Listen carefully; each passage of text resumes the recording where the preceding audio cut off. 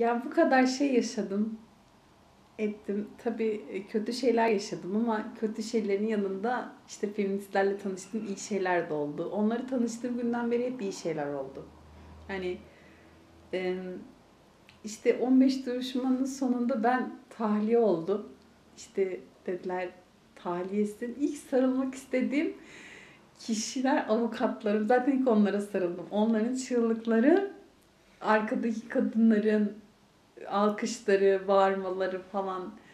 Yani bu dünyada hiçbir şekilde sahip olamayacağım bir şey, duygu. Hakime bile baktığım zaman onu, bunu bile hissettim ya o bile böyle şey gülümsüyor böyle şey mutlu yani hani. Her, herkesi böyle gözlerine bakmak istedim. Herkese bakıyorum hani herkes belki hani yanlış ben yanlış mı duydum. Herkes benim gibi yani aynı şey için herkes ağlıyor falan böyle. Bizde ağır mahkum çıktığı zaman hani 10 sene 15 sene yatan mahkumun arkasına kapıya vurulur. Tencere ne bulursan demir ne vursan vurursan çıktın sevinme şeyidir ses yaparsın. Cezaevinin dışına çıkana kadar ben o sesi duydum. Ve çıktım onu da söyleyeyim. Kapıya çıktım bir sürü kadın da var. Bunu da beklemiyordum.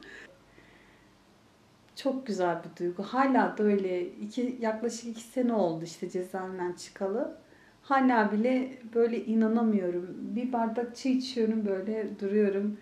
İşte inanamıyorum çıktım mı ben şimdi ya yapıyorum böyle. Cezaevindeyken hep uyumak isterdim.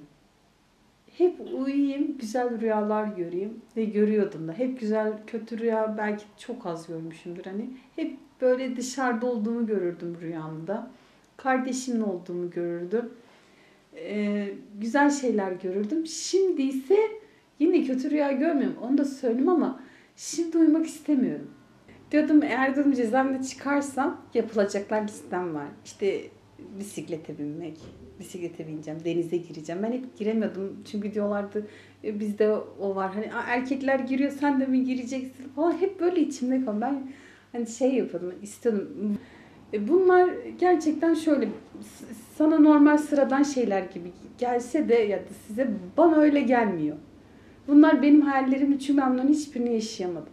En güzel yılımı yaşadım. 30 yıl boyunca yaşamadım. Her şeyi bu yılı yaşadım. Doğum günü bile kutladım yani.